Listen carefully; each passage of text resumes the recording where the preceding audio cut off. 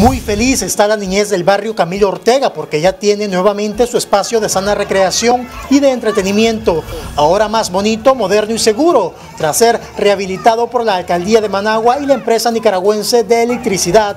Una inversión mayor que se acaba de hacer de 1.400.000 córdobas con toda su protección perimetral, con su malla electrosoldada, su pintura, la rehabilitación nueva de todos los juegos recreativos de los niños, el cambio de corcho en las áreas infantiles, la construcción de estos hermosos baños que son nuevos, estos no existían, la luminaria LED que también se ha reparado, en la cancha los tableros, las gradas, todo ha sido rehabilitado, pintado, igualmente los juegos infantiles. Los padres de familias expresaron su agradecimiento al buen gobierno sandinista por restituir los derechos de los niños y niñas de este barrio. Muy feliz, muy contenta porque es donde los niños se pueden divertir. Usted sabe que los niños después del colegio o los días sábados, los días domingos, ellos necesitan que, nosotros los saquemos a divertirse. Los niños necesitan también como nosotros un poquito más de diversión y yo le agradezco por eso tanto a mi gobierno, ¿verdad? El comandante Daniel Ortega Saavedra y a su esposa Rosario Murillo.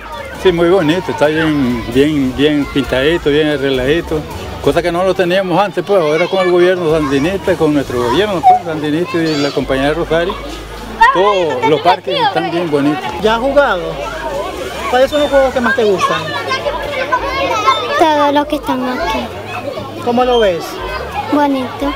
Durante el acto de reinauguración, los niños disfrutaron de juegos inflables y de un refrigerio.